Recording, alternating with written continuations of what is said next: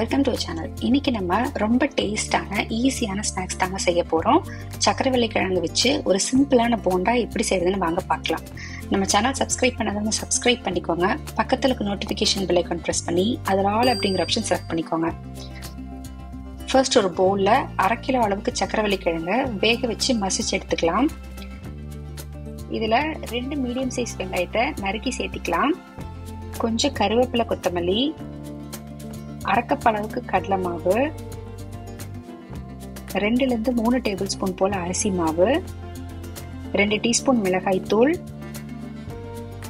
கால் teaspoon வறுத்து பொடி பண்ண சீரகத்தூள் அரை டீஸ்பூன் மல்லித்தூள் ஒரு டீஸ்பூன் உப்பு சேர்த்துட்டு பிசைஞ்சிக்கலாம். கிழங்கோட ஈரமே நமக்கு கரெக்டாக இருக்குங்க. உங்களுக்கு தேவைப்பட்டால் லைட்டாக தண்ணி தெளித்து பிசைஞ்சுக்கோங்க. இந்த பதத்தில் கொஞ்சம் டைட்டாக பிசைஞ்சு எடுத்துக்கோங்க. எண்ணெய் ரொம்ப சூடாக இருக்கக்கூடாதுங்க. இந்த மாதிரி போண்டாவை சின்ன சின்னதாக உருட்டி போட்டுக்கோங்க. இந்த போண்டாக்கு தேங்காய் சட்னி நல்லா டேஸ்ட்டாக இருக்கும்.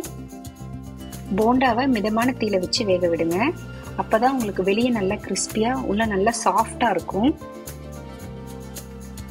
போண்டா வெந்துருச்சு இப்போ நம்ம எடுத்துடலாம்.